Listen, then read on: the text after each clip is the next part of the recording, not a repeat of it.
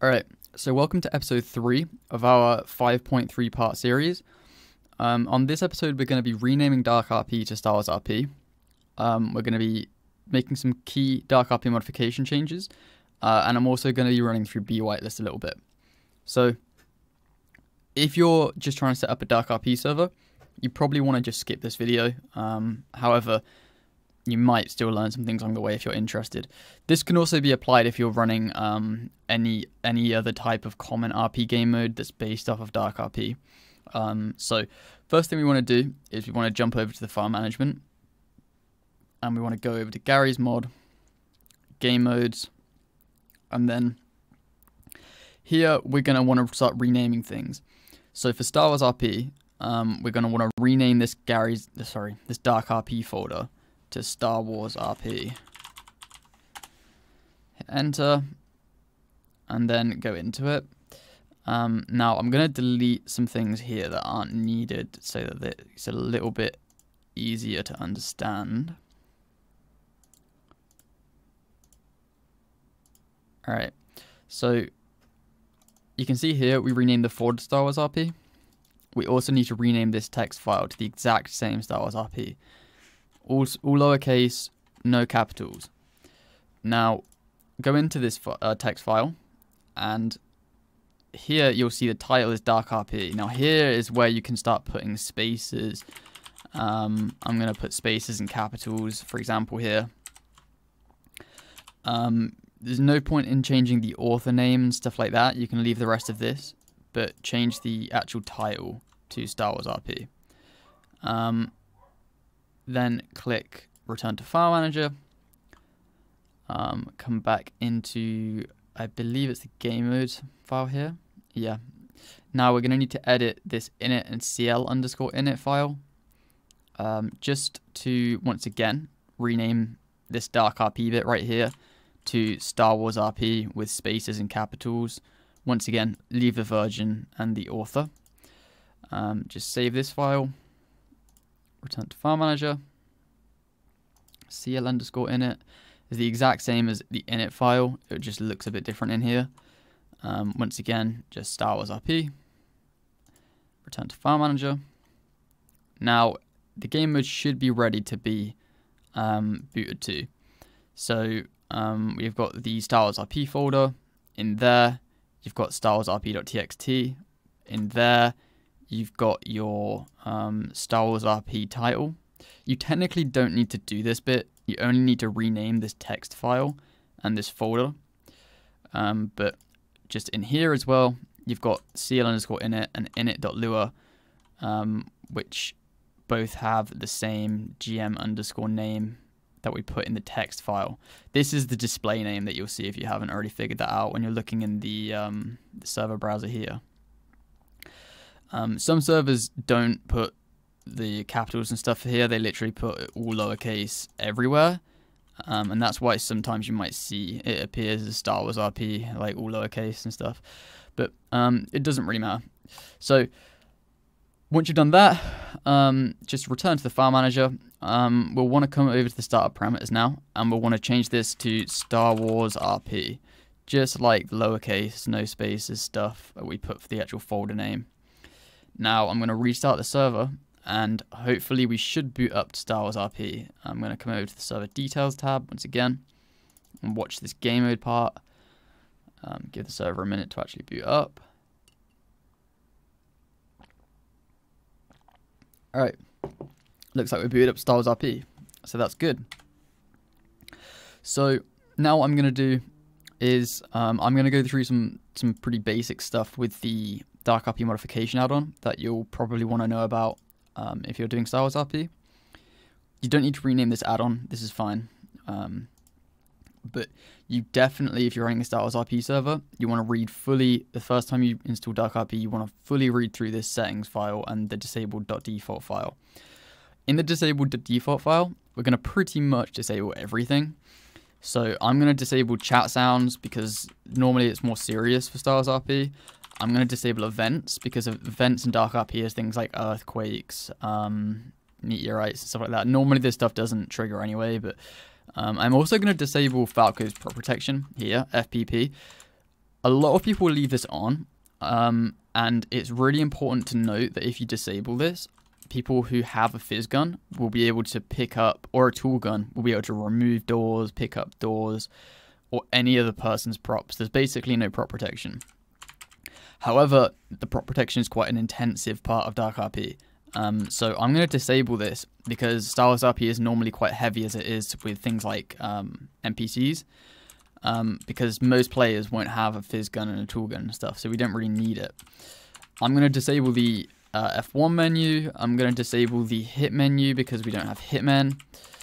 Uh, I'm going to leave the HUD for now. Um, I'm going to leave hunger mod disabled. I'm going to leave player scale enabled because that's kind of a bit of fun. I'm going to disable the, the sleep system. Um, I'm also going to disable fadmin. That's the uh, admin menu that you would see in the scoreboard. Um, I'm going to disable that because we have ULX and I just don't really like fadmin. You can totally leave that if you like fadmin. It's not going to make much of a difference. Um, and then I'm also going to leave animations and chat indicators both enabled.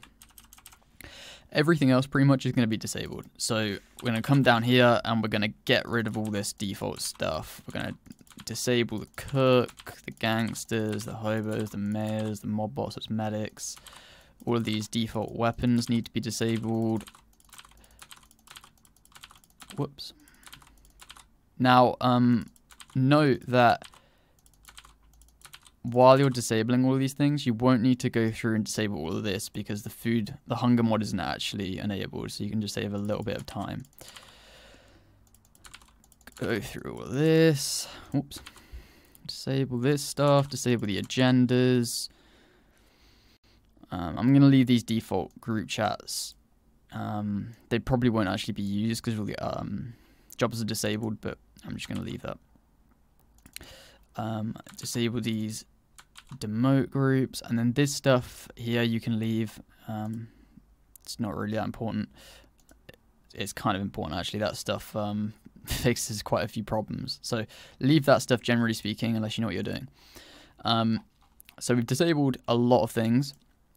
Now we're going to want to go through to the settings and there's going to be a bunch of settings that I'm going to point out that we're going to definitely want to check out with Stars RP um, like I said earlier, I strongly recommend just reading through this file fully the first time you install Dark RP and making sure that you've gone through and configured everything how you want because there's a lot of really useful, interesting stuff in here.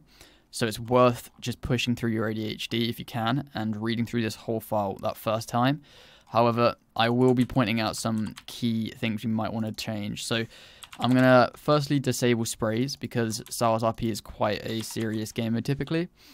Um, I'm going to make sure that this is uh, enabled because I don't want people being able to see things that they can't buy. Uh, you might want to increase the voice distance so people can hear you when they're standing in lines and stuff. If they're like through a wall, they still won't be able to hear you. Um, I'm going to go up and change the currency so it appears on the right hand side. Um, and I'm also going to change the currency symbol from a dollar sign to say credits because that's a bit more realistic for Star Wars RP. Um, for the default weapons, I'm going to get rid of pretty much everything, but I'm going to leave the phys gun just in case I need to test something in a second. Um, you're probably going to want to get rid of the phys gun as well for Star Wars RP. And for the admin weapons, I'm also going to get rid of the keypad checker because you don't use keypads in Star Wars RP that much. Um, also, a really important thing if you disable Valkyrie's prop protection, and either way you're going to want to probably disable all this, um, um, set all of this to false pretty much, because otherwise people will be able to remove random things with the C menu. So set all this to false um, just to lock down the context menu. Um, another thing which I'm going to enable is the de decal cleaner that automatically cleans decals I'm going to disable pistol buying uh, in the F4 menu because we don't want people buying pistols.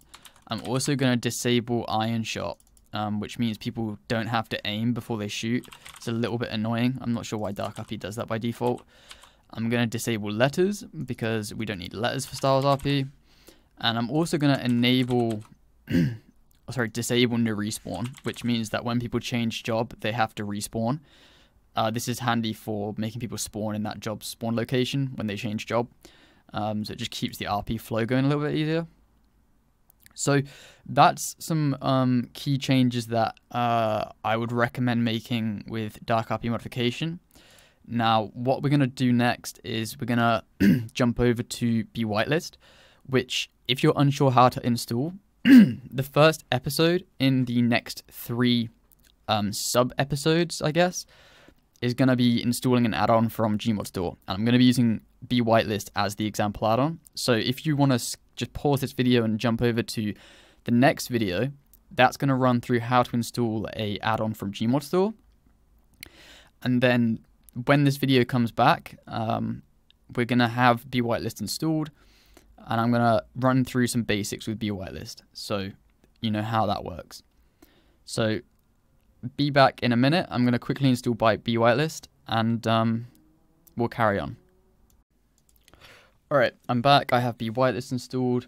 This is going to be focusing on a little bit of B whitelist before I wrap this episode up. So once you've installed B whitelist, you should be able to just access it by typing exclamation mark GAS and then clicking through and here you'll see that I've re-enabled a few teams and that leads me on to mention something that I forgot. If you do disable all of the base teams, you'll need to change the default team here to something you've got enabled, obviously. Uh, for example, like team example would work here. But I've re-enabled some jobs just for this example because the um, spawn job can't be obviously put behind a whitelist. So um, if you're going to be uh, whitelisting a job or blacklisting a job, depending on what kind of setup you've got, this is where you would just enable that. And then to add people to that list, typically you would come through to this players uh, list right here, find the player that you're looking for, and then you can just click on their name and then you can click to add them to the example team, for example. So here you can see that I've been added to the uh, example team and it has a little nice check to let you know.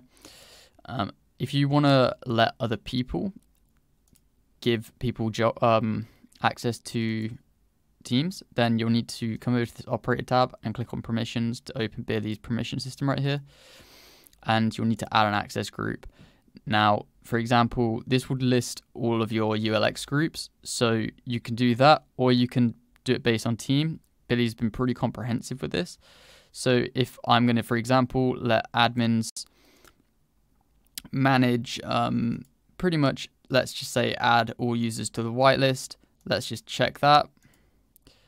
And then I'm going to allow them to remove users from the whitelist. And then you'll just click save. And it's pretty much, it's really that simple.